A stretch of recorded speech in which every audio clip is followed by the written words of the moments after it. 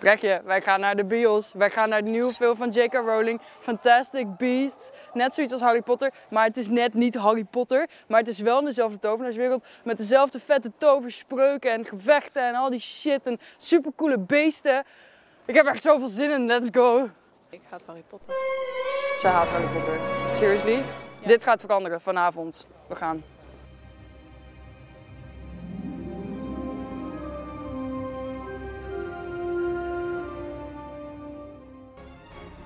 Yesterday, a wizard entered New York with a case.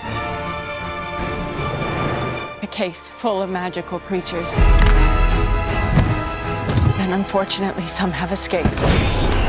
Ja, nou, ik zou oprecht willen zeggen dat ik hem stom vond. Maar ik vond deze echt super vet.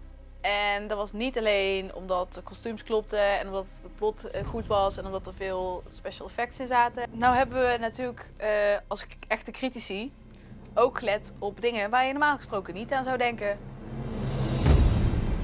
We wilden het aantal explosies stellen, Maar die waren er niet. maar die waren er niet.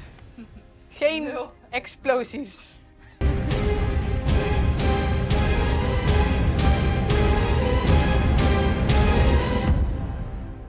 Nou, duizend. Echt belachelijk. Heb je dat geteld? Constant- Ja. Nee, duizend. duizend is een ruwe schatting. Maar echt gewoon constant. Er, gaat zoveel kapot in die film. Constant bakstenen Ja. vliegen door de lucht. Maar dan doen ze zo met de doosstaf. En is het gewoon weer heel. Dan bouwt het gewoon weer terug op. Dat is ook zo vet. Ja, ik vind het best wel knap hoe je zeg maar in zo'n korte tijd zoveel stad kunt verwoesten. Ja. En weer op kunt bouwen.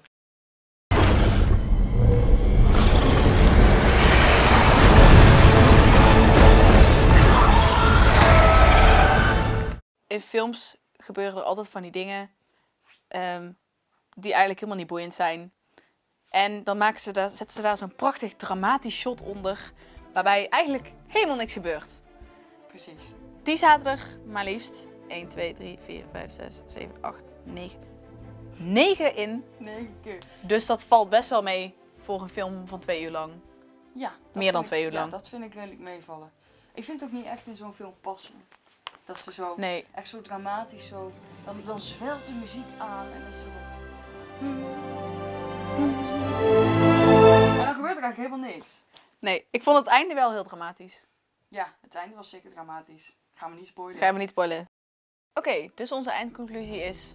Fantastic Beasts and Where to Find Them is een aanrader voor iedereen.